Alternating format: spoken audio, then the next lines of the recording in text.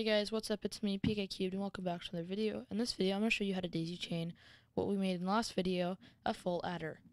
And so this is our full adder, and as you can see, it will do exactly what it's supposed to do, just like that. And this is basically, um, this is a, this is our full adder. So the next thing we need to do is um, make it so we can daisy chain them. So what I'm going to do is I'm going to add a new circuit in this file. So you can click on the plus right here. And I'm going to call this, um, let's, what should we call it? Uh, daisy chained adders. No, 8-bit adder. 8-bit adder.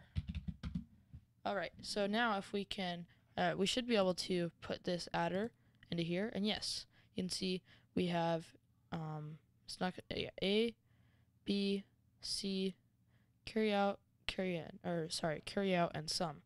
So the, you can see these are red because we don't have any inputs going to them yet, but we'll get to that.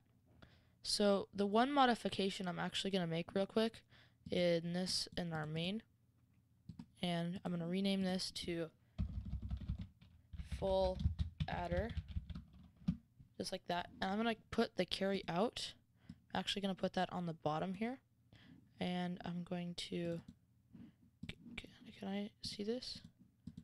Is something wrong here? Carry. Okay, make it face south, just like that, and then I'm no sorry not south north, and then I'm gonna connect it back up. There we go. So it's gonna be on the bottom, and then I'll put the carry in, and I'll move that over the top. Can I do that? And I will make it face south. There we go. And then connect it back up.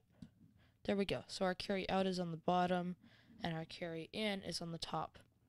And I'll rename this to carry in. Just like that. So now we have our carry in on the top and our carry in on the or carry out on the bottom. And what that does is it makes it a whole oh that? I just have to, okay, that, that works. So that makes it a whole lot easier to daisy chain these because I can actually just plop them right on top of each other. So if we want to make an 8-bit adder, we are going to need 8 of these. So we can just grab 8 of them and we can put them together like this. So there's four, five, six, seven, and 8. Now we need to grab the inputs. So let's take this and we'll make it data bits 8. And then we'll grab a splitter. And it's giving us a warning because these aren't the same. So 8 and 8. And bring this down so we can see everything. Now we want to connect 0. Let's see. 0, if we poke it, 0 is the one on the right. So that needs to be the one that goes to our first um, adder. So that's going to go right here into the the A input, and then we're going to do that for each of our adders, like this, and just connect it up to um, what we have on the splitter.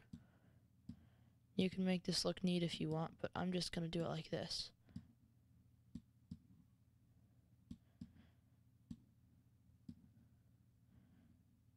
And one more. And just connect it up like that. And now we can add our second input for the second oh I just messed up something. There we go. We can add our second input for the second byte or yeah second byte of information. So I'm just gonna copy this and duplicate it and try to try to bring it over to where we need it there we go.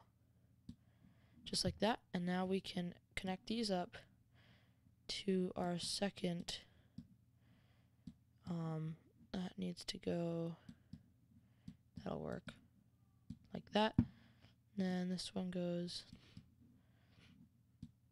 over to, yeah, over to this one. This one goes over to, uh, this one, This one goes over here. This one goes over here. This one goes over here. And our last one goes right over here. Now the last thing we need to do is um, add our, or sorry, not the last thing. We have one more thing, two two more things to do. One of them is add a constant to our carry in on the top, because getting angry at us. You can see this red one is because it doesn't have a carry in. So we want our carry in to be zero. So let's just change this to zero, just like that, zero x zero, and now it's a zero, and then we'll make it face south, not east, south and then connect it up to that carry in. Now you can see these are all green. Now we need to add our output. So grab this output pin, put it right here, and we can add a splitter to it, and we'll make that uh, right-handed. No, left-handed, make it face. Uh, it's facing east. We need to make it face west, like that. And now we can connect it up and make this the pin. We need to make it 8 bits and the splitter we need to make it 8 bits as well. Now I'll just move it up a bit and we'll connect them up. So 0 goes to this one. Uh, not like that. I did that wrong. Did I connect 1? Okay, anyway. Uh, we can just do this and connect it up to the first output. Now connect this one up. And this one, not there. Just, just one goes straight across. And then connect this one up to Whoa, why is that being weird? Excuse me. Why are you angry? It's angry. Um, why would that be a problem? Let me look at our wiring here. So, this goes up to zero. That goes up. Um, these all go over to the other one. This, it was this one that was angry. Um, I can't find any problems with that. It looks normal. But it goes, uh, why is it connecting there? Is there something here that I'm missing? Anything that's connected to right there goes red. Um, you know what I'll do? I'll just go this way. Sure. That does look a little bit messy, but sure, it works. Yeah, it's it's connected to this the sum, just kind of off to the side next to it. Um, anyway.